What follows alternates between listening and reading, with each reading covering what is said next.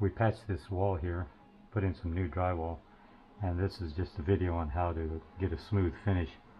We've already put the uh, drywall mud on, and uh, when you're sanding it, uh, you, can use a sanding block like this, and if you look right here,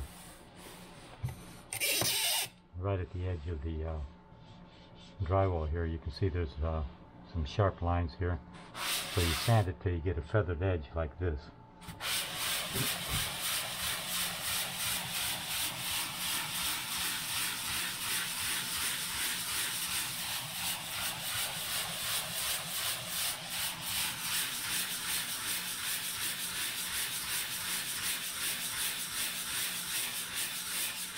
There you can see how the edges become feathered. They blend in real smooth there. There's no ridges or sharp edges like here. If you paint over this sharp edge there, then you'll see it in the finished paint. So you, if you have a feathered edge, then the paint blends in, looks like a smooth coat. And then uh, in order to check your work to make sure you don't have any uh, rough edges, take a flashlight and hold the flashlight against the wall like this and then the light will cast shadows wherever you have rough edges. And here you can see if you don't have the flashlight it looks like a smooth wall.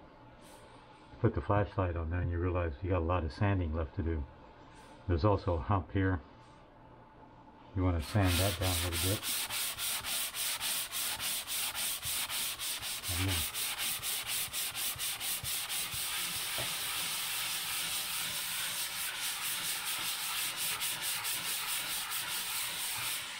Here you got a lot of uh, rough spots here.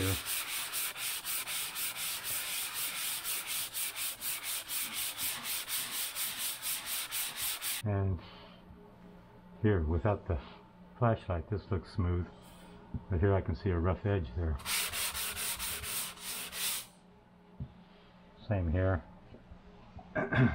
see a little few lines here.